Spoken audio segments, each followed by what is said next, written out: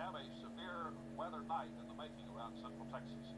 Right now, line of very heavy thunderstorms, broken as it is, from southwest of San Saba up to near Lometa, uh, coming up through Evant, on up uh, in this area toward uh, Cleburne and Fort Worth, Dallas. You see the very heavy red areas? These two thunderstorms in particular are severe.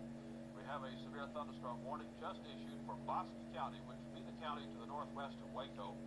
This thunderstorm just to the north of Hamilton is severe by radar indications and is moving toward the northeast. This entire line is moving eastward. The cells are moving northeastward along the line. So Bosque County has a severe thunderstorm warning in effect now for the next hour. All of central Texas, that means all of you that can see me at this point, are involved in a tornado watch. It'll be valid until midnight tonight.